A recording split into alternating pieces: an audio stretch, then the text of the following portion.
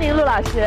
大家好，我叫骆学仁，是江苏扬州高邮人，今年六十七岁。六十七岁了，一点看不出来。我看刚才大屏幕一开，您是小跑着上来的。呃，天天在家训练呢，和运动员在一起。天天在家训练什么？毽球啊。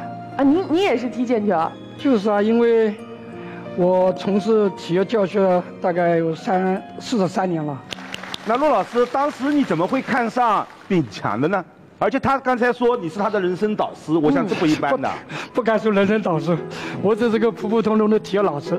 偶然的机会，他到深圳来，当时嘛要自己找个工作嘛，养妈妈啊。我作为深圳的毽球协会主席，实事求是说，他来我很欢迎，觉得是个人才啊。他来了也算是帮了我呀。你以前知道炳强吗？知道过，在赛场上看过他呀。他全国冠军啊，大家都知道的，只不过没有机会想到他会到我这儿来，哪里会有这个好事啊？那是什么样的契机让您想到要让他继续上大学呢？这个球，现在靠我们这代人要把它发扬光大，实事求是说力不从心啊，总要培养后人嘛，对不对？这个中华的炎黄子孙，老祖宗既然留一份这个宝贵的物质文化遗产给我们了，只要我们手上不能做得更好，就应该交给他们。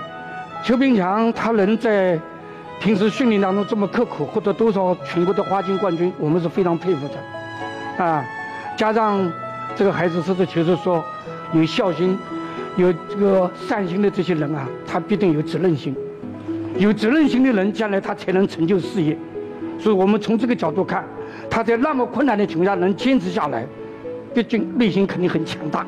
陆老师当时也就是说，不但看这个人的。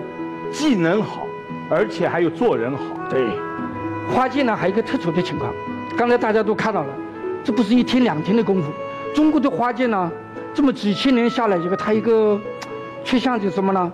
一直是师傅带徒弟，就一个一个的传下去。但是一个项目要发扬光大，光靠这个师傅带徒弟好像太具象了。这个将来怎么推广啊？所以这个里面就需要有这么一个高层次的人站出来。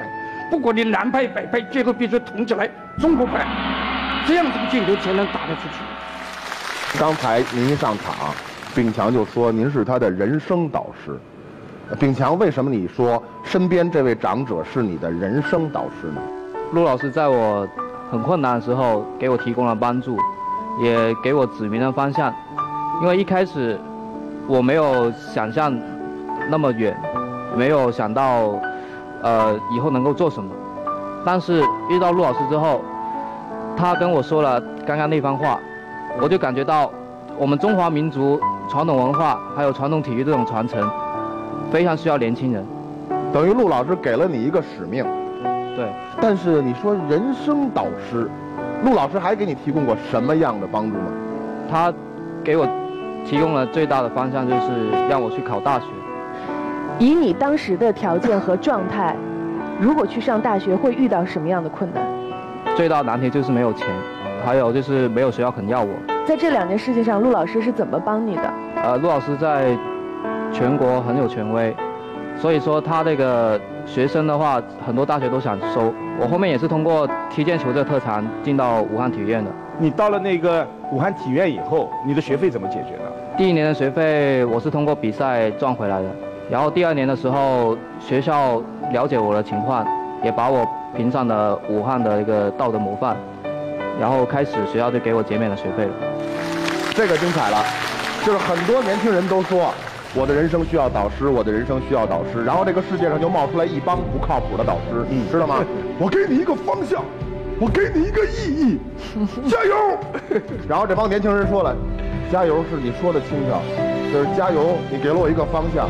但是很多客观条件我不具备，你把我扇得热血沸腾了之后，有什么用啊？大家注意啊，陆老师给你方向，给你机会，给你实际的支持，这样的人才配称人生导师。不止如此，我好像还知道，您还给了他情感的接纳吧？我知道他春节谁谁家过的，我今年春节在陆老师家过的，那是妈妈离去以后。一个孤零零的春节呀，那个春节，你可以说是在家过的吧？呃，其实第一次到陆老师家，呃，来去之前，他也跟我做了很多思想工作，嗯让我要放开，嗯，向前看，不要老是回想过去。所以给了你一个家庭的温暖的接纳，在春节这个晚上，对吗？对对，这叫人生导师。有意思的是，这个人生导师帮的这个小伙子是个什么人？哎呦，你给了我方向了，你给了我机会了，你给了我实际的支持了，你给了我感情的接纳了，太好了，你负责呗。我这辈子你负责了呗？没有，炳强没有，炳强上大学以后的学费他自己挣的。有人帮我，我也没变成一滩烂泥；有人助我，我依然自助，对吗？是的。呃，我再多问炳强一句话，炳强，你踢毽子这么长时间？